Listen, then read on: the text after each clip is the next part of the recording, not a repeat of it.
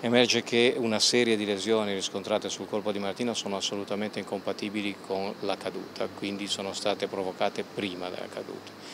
Che eh, entrambe le possibilità di ricostruzione della caduta sono eh, escludono la, il suicidio. È questo il nuovo scenario ipotizzato oggi in aula dai consulenti medico-legali della parte civile, cioè la famiglia di Martina Rossi, la giovane studentessa ligure precipitata dal sesto piano di un hotel delle Baleari il 3 agosto 2011. Per la procura di Arezzo la ragazza stava cercando di sfuggire ad un tentativo di stupro per la difesa dei due imputati, Luca ed Alessandro, due giovani aretini accusati di morte in conseguenza di altro reato, invece si sarebbe trattato di un suicidio. Al centro dell'ultimo udienza del processo per la morte della ragazza i testimoni dell'accusa privata. I primi ad essere stati ascoltati sono stati i tecnici, secondo i quali alcune fratture sarebbero incompatibili con l'ipotesi del gesto volontario. La frattura della, della, della mascella, la, le lesioni che aveva all'occhio, al labbro, alla zona temporoparietale e un graffio che aveva qui e poi soprattutto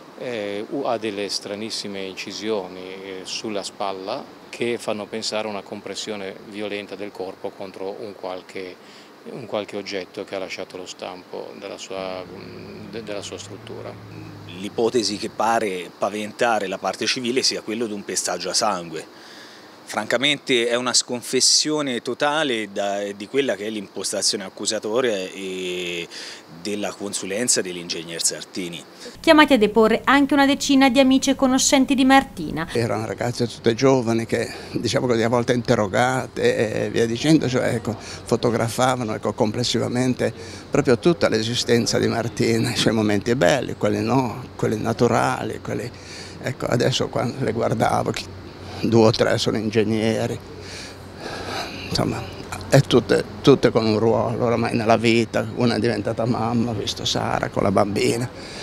E eh beh, tutto si complica invece che essere più facile. Presenti infine nella lista testimoni della parte civile anche i due imputati. Verranno sentiti come da codice di rito successivamente all'escussione di tutte le parti civili, dei testi delle parti civili. In quel momento si colloca, quindi siccome oggi non sono state citate tutti i testi della parte civile è ovvio che eventualmente l'udienza in cui ci sarà l'esame imputati sarà la prossima. Si presenteranno? Su questo ovviamente mi riservo.